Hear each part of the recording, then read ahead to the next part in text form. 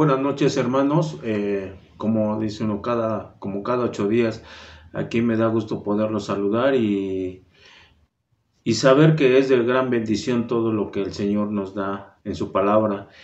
Y cómo a través de los estudios, eh, este estudio de cualidades del cristiano nos está eh, formando, ¿no? Como decimos, como un recién nacido. Eh, nos va dando eh, cada parte de nuestro cuerpo para que lleguemos a estar completos bien, ¿no? Cuando se forma, digamos, un bebé dentro del vientre de la madre, va creciendo todo conforme a su tiempo. Y así nosotros, el Señor nos ha hablado con su palabra y nos va formando como quiere que seamos nosotros, ¿no? Como dice el hermano Adán, nos va, somos el, nos está dando el ADN para que nosotros seamos como el Señor quiere. Y esta noche el tema es la sabiduría. Y recordando, ¿no? La sabiduría, dice uno, la, es muy necesaria ahora más cuando va eh, siendo uno adulto.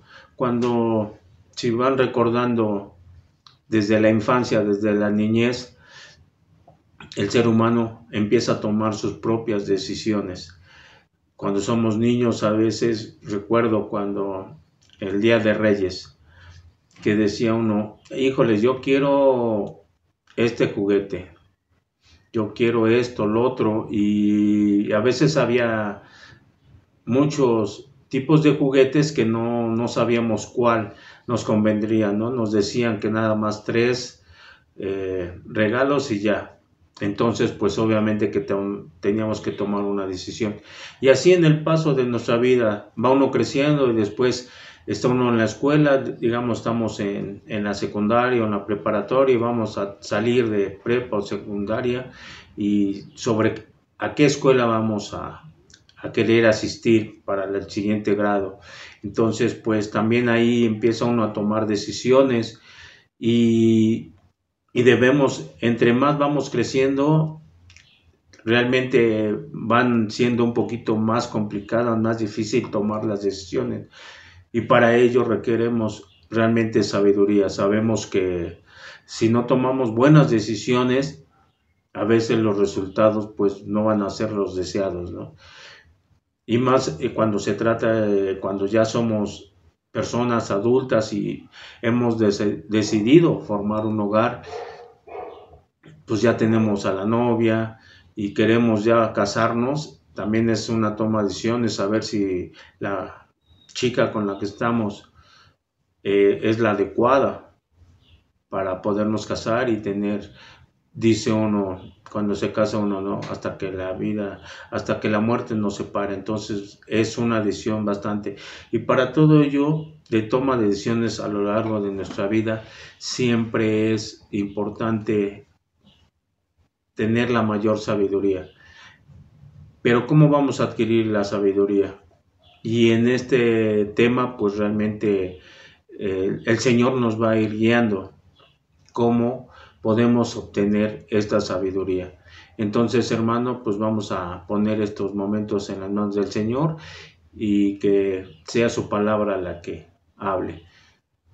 Cerramos nuestros ojos, Dios bendito, Padre Celestial. Te damos tantas gracias, Señor, porque nos has permitido tener un día más de vida, Señor, nos has permitido estar aquí, estar escuchando tu palabra, este alimento diario que tanto necesitamos, Señor, y que es de gran edificación para nuestras vidas y para todos los que nos rodean. Queremos siempre nosotros, Señor, ser esas personas sabias, esas personas maduras, con el cual tú puedas utilizarnos, Señor, y poderte serte útil y realmente es poder transmitir lo que tú quieres hacia de nosotros hacia las demás personas. Permite que nosotros seamos usados por ti, Señor, y que todo lo que escuchemos siempre de tu palabra en los estudios que hay en la semana, en la prédica del domingo, Señor, todo se nos quede grabado, que todo, Señor, podamos ser hacedores de tu palabra y no nada más oidores. Gracias te doy, Señor, por ello, en el nombre de tu Señor Jesucristo. Amén. Y si les digo, hermanos, pues la sabiduría.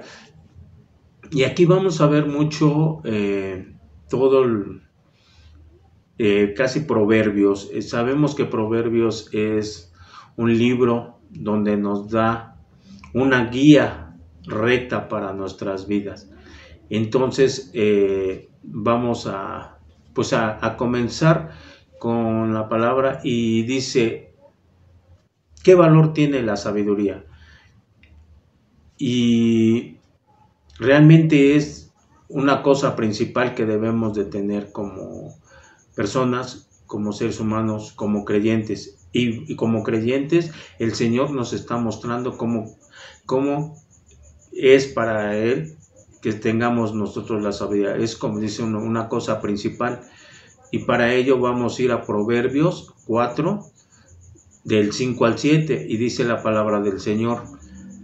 Adquiere sabiduría, adquiere inteligencia, no te olvides ni te apartes de las razones de mi boca. No la dejes y ella te guardará, ámala y te conservará.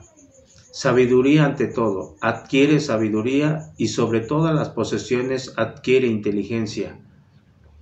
Y dice uno, debemos adquirir la sabiduría.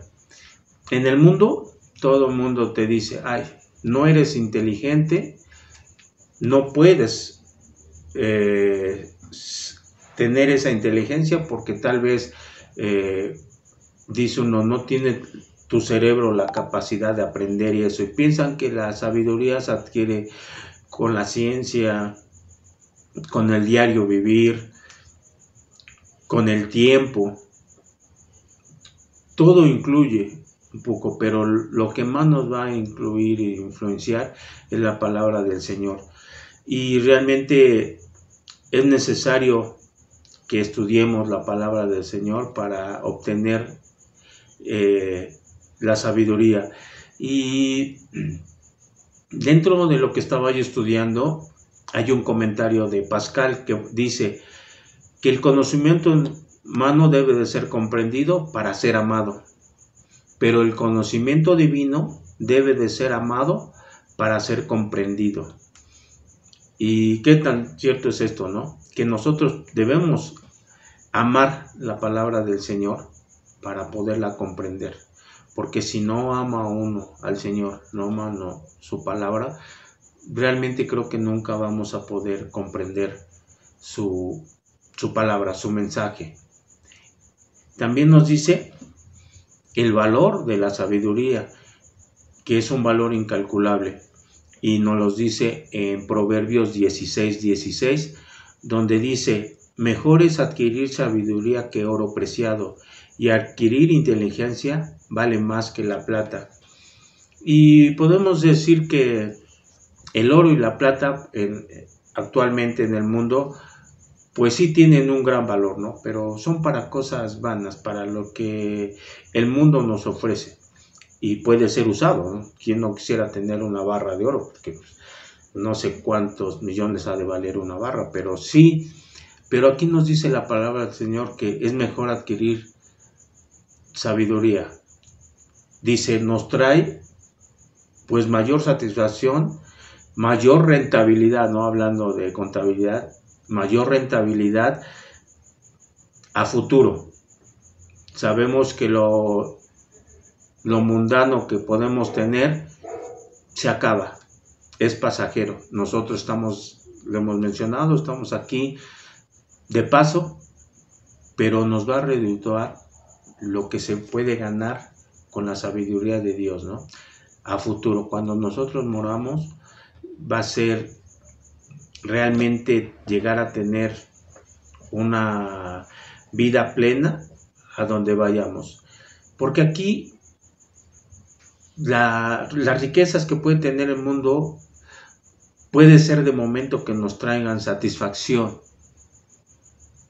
pero no porque tengamos esa economía bastante abundante, podamos decir que ya somos sabios. ¿Cómo ha llegado, cómo haya llegado esa fortuna, digamos, ese dinero?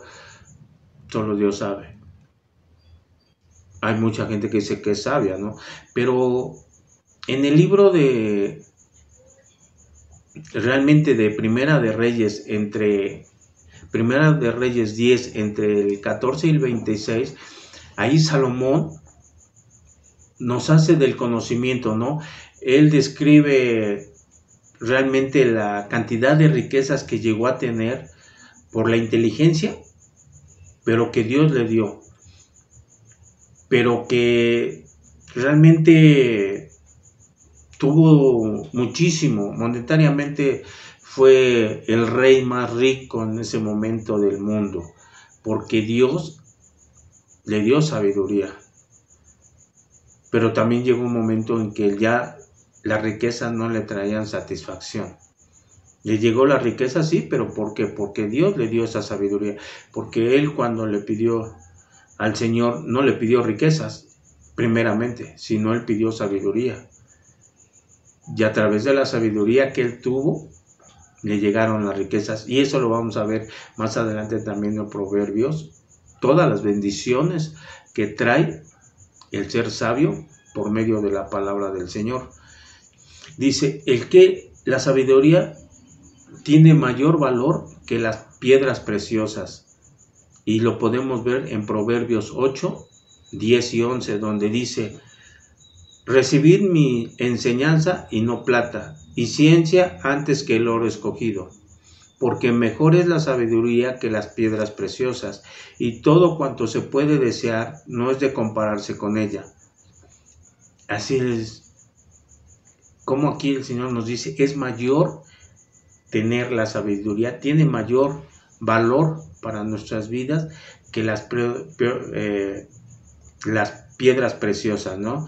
Debemos primero comprender y entender que debemos de poner las cosas de Dios primeramente. Y ahí vamos a adquirir esa sabiduría que es tan importante para nuestras vidas y no las piedras preciosas. Y dice, también dice, ¿para qué nos sirve la sabiduría? Y la sabiduría dice, es una defensa. Y podemos verlo en Eclesiastés 7:12, donde dice, porque escudo es la ciencia y escudo es el dinero, mas la sabiduría excede en que da vida a sus poseedores. ¿Y cómo eh, dice, para unos, la ciencia y el dinero es su escudo, ¿no? Porque se sienten protegidos. Dice uno, yo tengo dinero, eh, no sé, contrato a mis guaruras, yo estoy, me siento protegido, nada me puede tocar y simplemente todo lo tienen en abundancia. Y ellos sienten que esa protección les basta y no tienen la necesidad de tener a Cristo en su corazón, en sus vidas. Pero dice, aquí la palabra del Señor dice que la sabiduría da vida a sus poseedores. Y recordemos, ¿no? Que nosotros vamos por una vida eterna, los que creemos en el Señor, no en una vida terrenal. El dinero, podemos decir que sí, en su momento te puede ayudar a alargar la vida, ¿no? Un poquito. Digamos, yo me encuentro mal del riñón y necesito un riñón nuevo. Si tiene uno a veces tanto dinero en abundancia, puede uno conseguir con dinero un riñón. Pero ese riñón también, como dicen, en determinado tiempo, el cuerpo no nada más el riñón, sino todo el cuerpo se va envejeciendo, se va acabando y al final vamos a tener que morir. Pero aquí dice que el que posee la sabiduría le va a dar vida. Y sabemos que es una vida a largo plazo, donde nosotros vamos a estar con el Señor, es más allá de la muerte y que vamos a tener una eternidad en Cristo.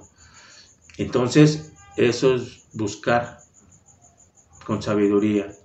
Pero también nos dice que es el temor de Dios. Y eso lo vemos en Proverbios 1.7, donde dice, el principio de la sabiduría es el temor de Jehová. Los insensatos desprecian la sabiduría y la enseñanza, amonestaciones de la sabiduría. De la sabiduría. Y aquí como realmente les decía yo, hermanos, eh, a través del libro de Proverbios nos muestra toda la acerca de la necedad que hay en el hombre, la insensatez, podemos decir a veces hasta, con perdón de la palabra, la estupidez que tiene uno como ser en, decir y no comprender las cosas del Señor. ¿Cuántas veces no hemos escuchado tontería en media de lo que el Señor nos ofrece y que mucha gente no lo cree?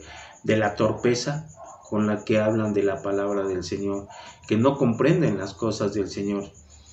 Y aquí dice que realmente el, temor a Dios no es un miedo cobarde o suplicante, ¿no?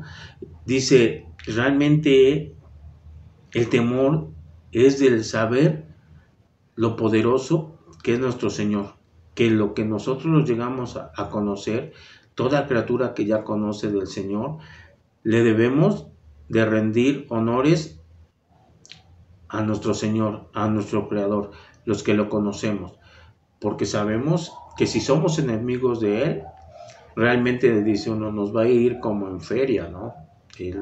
Ese es el temor, ese es el miedo de que decir, yo antes decía, hacía yo las cosas mal, no conocía yo al, al Señor, no, no tenía yo temor de nada, ¿no? qué me va a pasar. Pero conforme vamos conociendo al Señor, sabemos de todo lo que nos podemos perder, de todas las bendiciones que recibimos de Él. Y ese es el temor, ¿no? Realmente. Pero también la sabiduría trae infinidad de cosas y son buenas. Podemos decir que nos trae bendiciones y nos los menciona en Proverbios 3:13, donde dice, Bienaventurado el hombre que haya la sabiduría y que obtiene la inteligencia. Imagínense, realmente es dichoso, ¿no? La persona que hemos conocido a Cristo.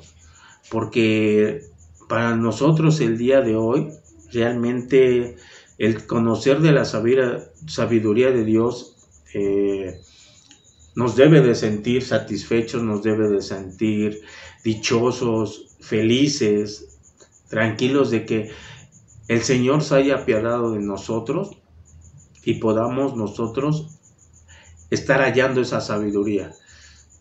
¿Cómo? Por medio de su palabra.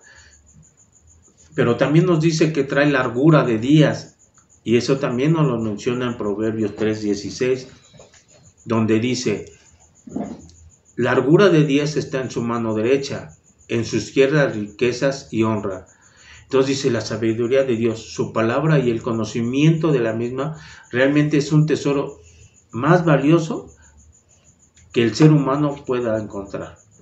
Realmente dice uno, eh, la promesa del Señor que nos da de que si obtenemos su sabiduría nos va a dar largura de día, híjole, pues, es estimulante para todos, ¿no? Realmente poder decir, amo la palabra, adquiero sabiduría y me va a dar largura de vidas. Y lo podemos eh, las personas que hemos estado en algún vicio. Yo lo he visto y a veces no sé si puede ser crítica a otra persona, pero eh, me pasó ahora que fui a a vacunarme, yo platicaba con Rosy y le decía yo, oye, pues estuvimos los de 50 a 59, ¿no? Y me tocaron personas de, de la década, decir así, donde te estaban vacunando y había personas que físicamente se veían acabadísimas y eran más chicos que yo se encontraban enfermos por esto, por diabetes, por presión, hipertensión. Y, y dice uno, bueno, ¿por qué se enferma uno? Creo que por los excesos ¿no? que a veces llegamos a tener. Y yo recuerdo un amigo que también agarró mucho el alcohol, cómo el alcohol nos envejece y nos acorta vida, ¿no? Dicen que el tabaco igual, que cada X cantidad de tabaco, no recuerdo bien la cantidad, te quita un año de vida. Entonces son vicios que se tiene como ser humano y que si no conoces a Dios tú sigues en tus vicios, ¿no? Cigarro, el alcohol, mujeres, drogas, pero cuando conoce uno al Señor, se aleja uno de todo eso y ahí va parte de la promesa donde dice, te voy a alargar la vida. ¿Por qué? Porque tu cuerpo está limpio, está más sano. Y es realmente, eh, es un gran estímulo, ¿no? el decir que estamos conociendo de la palabra. Y entonces esto nos debe de dar un, estímulo grande, que profundicemos día a día en nuestros estudios, que busquemos día a día la palabra, que vamos a encontrar muchos tesoros espirituales que nos van a ayudar a nuestras vidas y que es un mensaje de Dios que lo tiene para nosotros, que nos los está comunicando. No nos hagamos de oídos sordos para escuchar el mensaje del Señor. También dentro de eso, como lo decíamos con Salomón en el libro de Reyes, nos va a dar riquezas. Y esto nos lo menciona en Proverbios 8:21. Dice, los que me aman heredarán riquezas, llenaré sus cofres de tesoros. Y esta es en la nueva traducción viviente. Entonces tenemos una gran promesa, que de la sabiduría vamos a obtener muchísimas cosas buenas. Dice, nos va a heredar riquezas. Pero luego, luego a veces habla uno de riquezas y nos imaginamos, ¿no? Dinero. Puede ser que sí. Con la sabiduría que tenemos con el Señor, si es su voluntad, nos va a dar riquezas. Porque van a ser bien utilizadas, porque ya tenemos esa sabiduría. Pero si no tenemos esa sabiduría, olvídense de que podamos ser ricos, porque como les digo, aquí nos está diciendo que vamos a tener, vamos a ser ricos en bendiciones. Pero también nos trae honor. Y en Proverbios 18, 8, 18, también en la traducción viviente, dice, tengo riquezas y honor, así como justicia y prosperidad duraderas. Mis dones son mejores que el oro, aún el oro más puro mi paga es mejor que la plata refinada. Entonces imagínense lo que nos está diciendo el Señor. Que no se compara nadita sus dones que nos está dando con el oro y la plata. Así sea el oro más fino, ¿no? Que hablamos de 24 quilates, puede ser el oro más puro y más fino. Entonces, tenemos esa gran bendición. Pero también nos dice que nos trae paz y nos lo dice en, en Proverbios 3:17 sus caminos son caminos deleitosos y todas sus veredas paz. Pero también nos trae vida, donde en el Proverbios 3:18 dice, ella es árbol de vida a los, de, a los que de ella echan mano, y bienaventurados son los que la retienen. Entonces somos realmente bendecidos, ¿no? Dice el bienaventurado. Somos bendecidos realmente con toda su palabra. Sabemos que el Señor nos habla semana tras semana, todos los días, les digo de miércoles a domingo, y realmente sabemos que no es fácil, que ciertos estudios se requiere de trabajo, pero sabemos que al finalizar todos los caminos de esto nos va a llevar a tener una sabiduría y que todos estos caminos son agradables y que todos, dice uno, todos sus senderos realmente son de paz. Cuando no teníamos esta sabiduría, no la queremos obtener, siempre andamos en conflictos uno mismo y preocupándonos. Cuando realmente cuenta uno con la sabiduría, trae más tranquilidad a nuestros corazones, nos trae paz.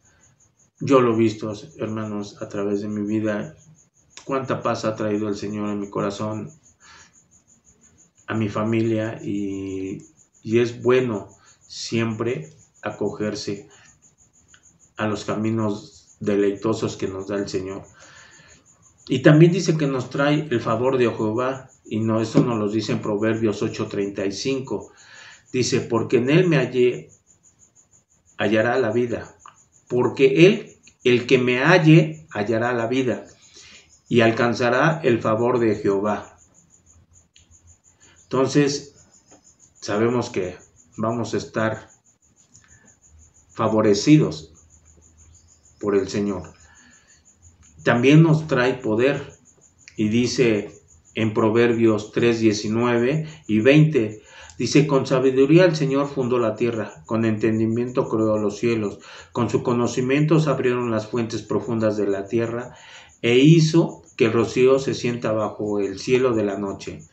El Señor tiene tanta sabiduría que todo realmente lo hizo perfecto. Lo hizo hermoso, sublime, no sé, eh, han olido a veces, no sé si les ha tocado que se han ido a acampar en alguna montaña y han respirado realmente el aroma del bosque o el aroma, de, más comúnmente el aroma de las flores. Cuando están, digamos, en, en, tierra, ¿no? que todavía están vivas y las viene al sereno, realmente vemos que todo lo hace perfecto. A todo las cosas les dio un punto perfecto. Realmente, dice uno, le dio colores, le dio aromas, les dio tamaños. No sé, es una... Ahí vemos el poder que el Señor otorga otorgó y el conocimiento que él tuvo para hacer todo esto. Todo lo hizo perfecto y hermoso realmente. Eh, y de los frutos ni se diga, no sé si han olido el aroma de, del durazno, de, de, los que más recuerdo, o de una fresa, cuando están, que son los frutos que más me gustan, de un mango. Dicen, ay, qué rico huele, delicioso cuando son frutas muy aromáticas, realmente dice uno, Señor, todo lo hiciste bueno, perfecto y hermoso para nosotros, porque nos los está dando.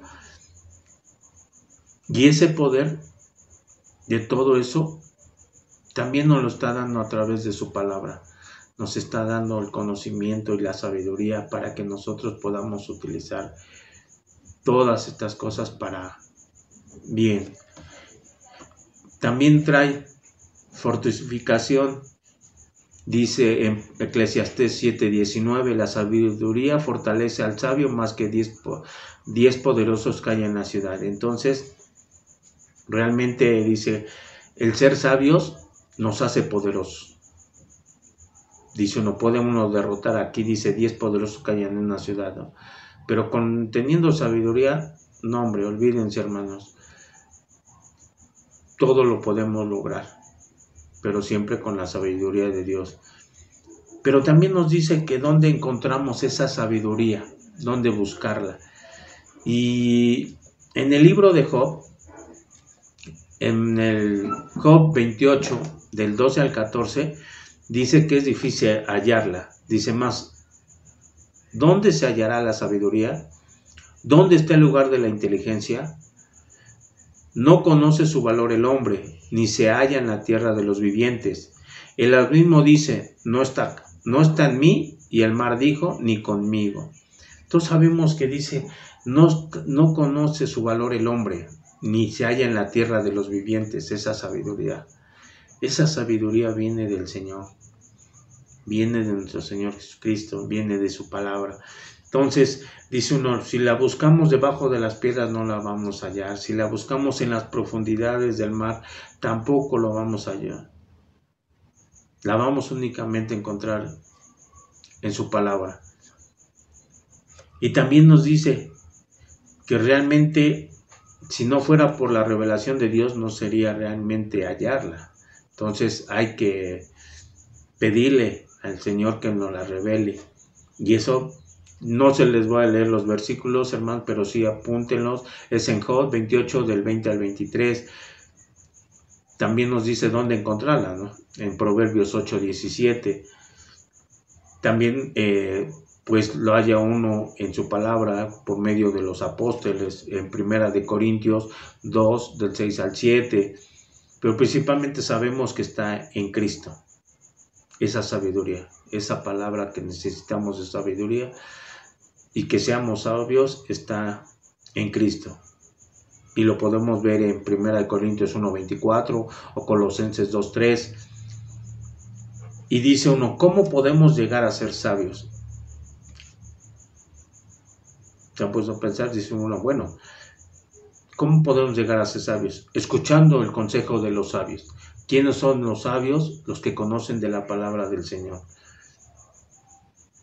los líderes de la iglesia que realmente están maduros, que son sabios, del pastor cuando está llevando la palabra del Señor tal y como es, de ellos debemos y de ellos vamos a llegar a ser por ellos. Son instrumentos utilizados por el Señor para que podamos nosotros llegar a ser sabios. En Proverbios 4, del 1 al 5, dice, escuchando a los padres. También nuestros padres son sabios en algunas palabras no podemos que son perfectos, pero sí hay mucha sabiduría en nuestros padres.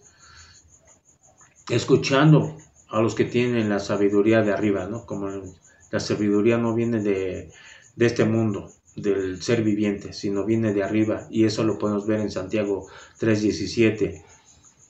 Pero también aquí hay un donde Eliud en, en Job 32 del 4 a 9 dice que Eliú habló con verdad cuando dijo que todos los ancianos, que todos los hombres ancianos no tienen la sabiduría. Y eso es gran verdad.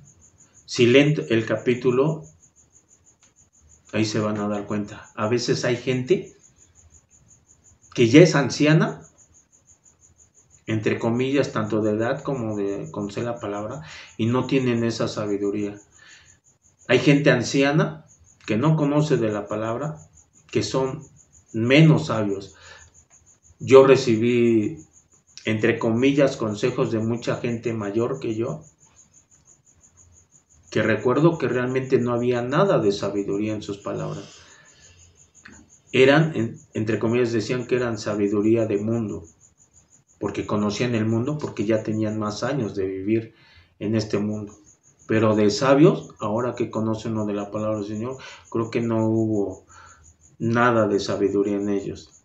También, donde podemos llegar a ser sabios, ya les vimos escudriñando la palabra. Y principalmente siempre ponerla en oración, pidiéndola en oración, que seamos sabios. Ante todo debemos de pedirla en oración. Estando en Cristo, Realmente sabemos que están escondidos los tesoros de sabiduría y de conocimiento. Pero si nosotros escudriñamos la palabra, nos las va a revelar y nos va a dar ese tesoro tan grande que es la sabiduría.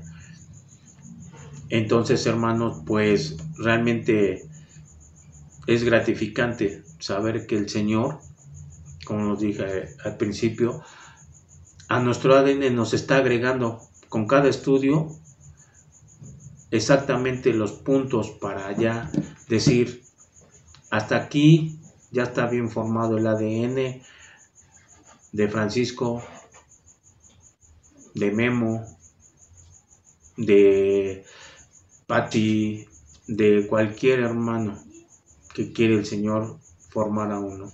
Nos está dando punto por punto de nuestro ADN para que esté completo para que podamos nosotros ser utilizados como Él quiere. Entonces, hermanos, pues hemos concluido con el tema y pues vamos a despedir con una oración. Amén. Padre Celestial, gracias te doy, Señor, por estos momentos, Señor, y que nosotros lleguemos a ser, estar completos como tú quieres, Señor. Que nosotros seamos realmente esos seres que tú puedas utilizar, Señor. Ya estamos estando siendo completos, estamos siendo perfeccionados en tu palabra, Señor, y queremos llegar a ser lo más cercano a ti, Señor, en todos los aspectos y que nosotros podamos mostrar eso día a día en nuestras vidas y a todo el que nos rodea, Señor. Gracias te doy, Señor, por ello, en el nombre del Señor Jesucristo. Amén. Y hermanos, pues invitarlos a los estudios miércoles Segunda de Reyes 8.30, el día jueves Bendiciones del Cristiano 8.30, el día viernes eh, las Desafío del Amor a prueba de fuego y el día sábado por las 12.30 la familia Kit y 8.30 con un servidor en las cualidades del cristiano. Y el domingo nos vemos mañana, primeramente Dios, a las 11, para continuar con el estudio de Lucas. Creo que ya vamos a empezar el 11. Amén.